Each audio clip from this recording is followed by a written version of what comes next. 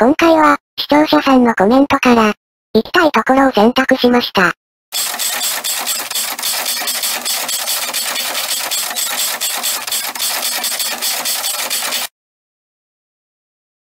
視聴者さんから、ありがたいコメントをいただいていたので、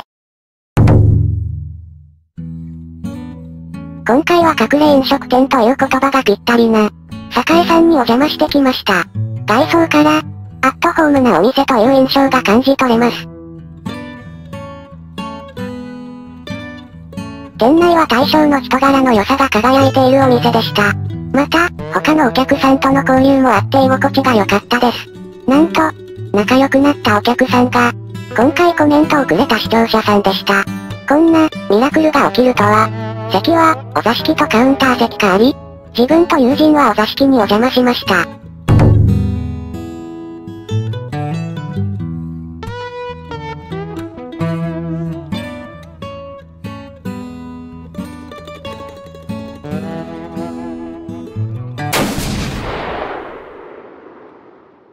まずはじめに、4点盛りをいただきました。日によって変わるらしいです。ランチにお通しがあるとは、ありがたき幸せ。まず、目の前のホヤからいただきます。食感が素晴らしく、お酒が欲しくなっちゃう味です。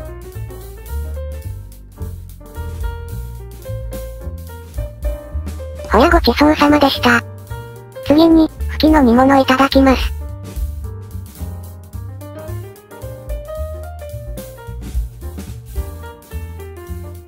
の煮物ごちそうさまでした。次に、タケノコのネギ塩だれあえをいただきます。あっさりとした、タケノコとネギの美味しさグレート。タケノコのネギ塩だれあえごちそうさまでした。ラストに自分の好きな、ツナマヨサラダいただきます。ツナマヨのヒヤッと感最高。コーンの美味しさも際立っています。ツナマヨサラダごちそうさまでした。次に、メインの、海鮮チャーハン大盛り到着です。海鮮という名のチャーハンは、あまり食べたことがないので、超楽しみ。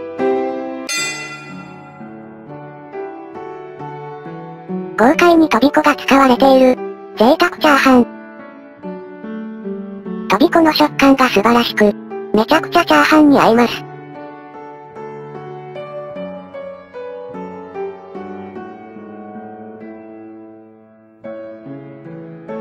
しっかりとしたチャーハンの味に、干しエビの旨味がたまりません。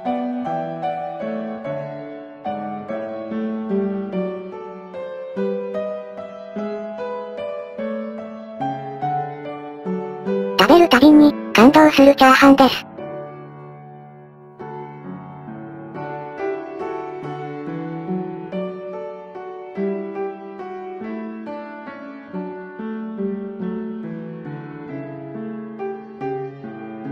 大好きなイカも入ってます。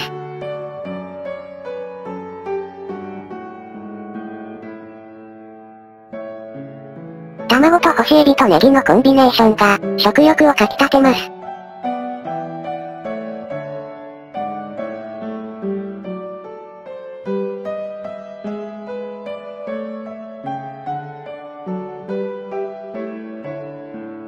お客さんとの交流もあって、楽しいお食事です。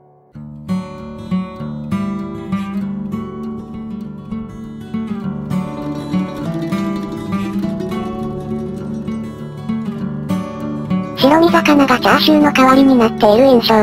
唯一無二の味。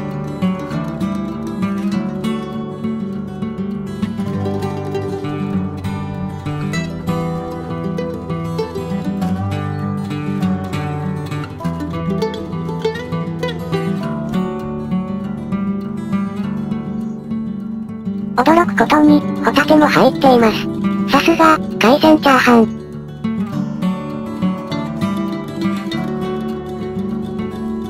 お水で一息。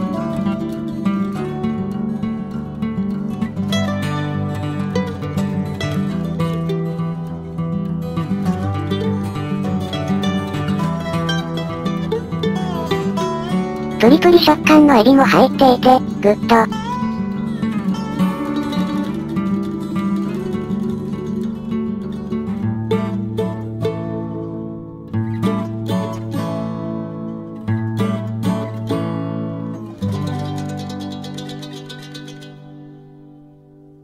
が大盛り。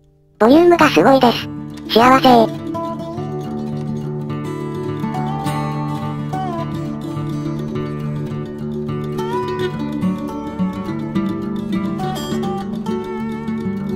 黒鯛の牛尾汁いただきます。牛尾汁の風味に惚れ惚れ。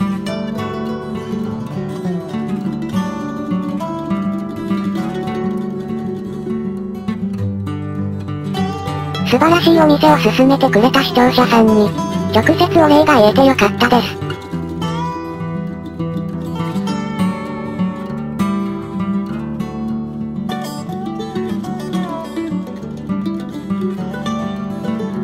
ここから一気に食べきろう。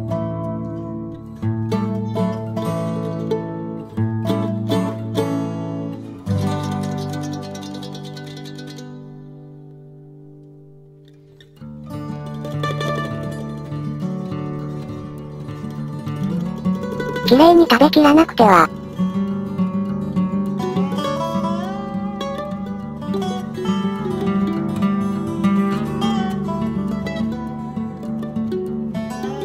海鮮チャーハンごちそうさまでした。最後に牛尾汁いただきます。たまらない味。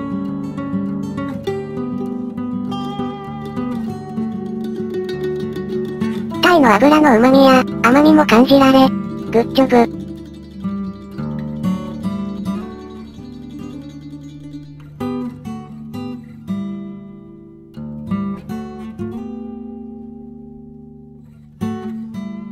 牛尾汁ごちそうさまでした。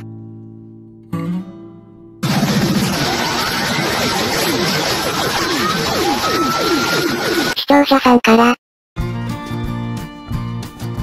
すごい豪華なお刺身をいただきました。ありがたき幸せ。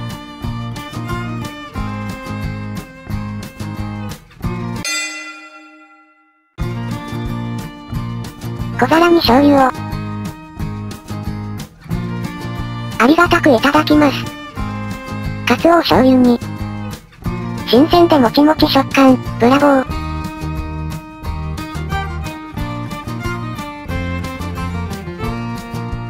油も乗っていて、絶品です。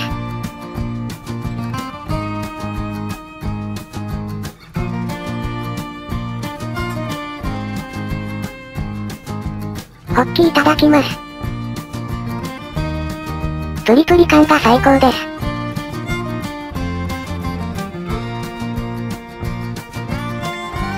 次に、大好きなタイの刺身いただきます。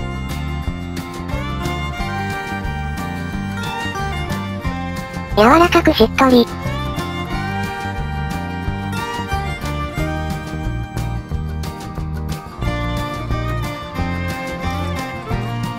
惚れ惚れする美味しさ。アジの刺身いただきます。美味しくて、お酒が飲みたくなっちゃいます。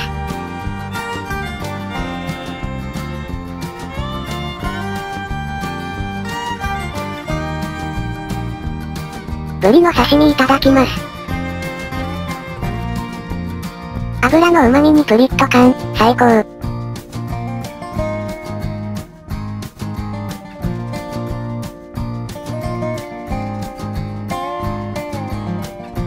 ラストにカツオの刺身をいただきます。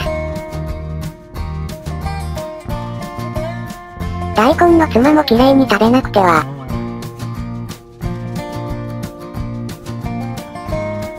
新鮮なお刺身、ごちそうさまでした。